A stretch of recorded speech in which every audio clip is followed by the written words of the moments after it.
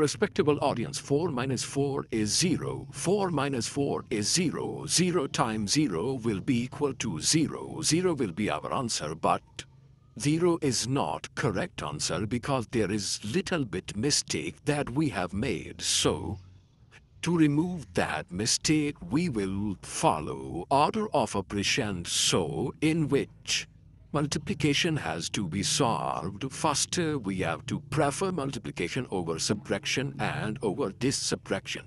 So first of all, we have to solve this portion which contains multiplication. So 4 as it is minus 4 times 4 will be solved first, which will be equal to minus 16, and that is minus 4, which will be as it is. 4 minus 16 will be equal to minus 12 minus 4.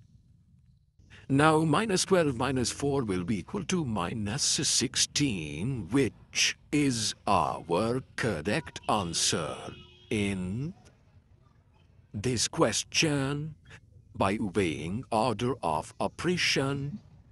Like BODMAS or PEMDAS or T-mass, we got minus 16 as correct answer. Thank you for your support.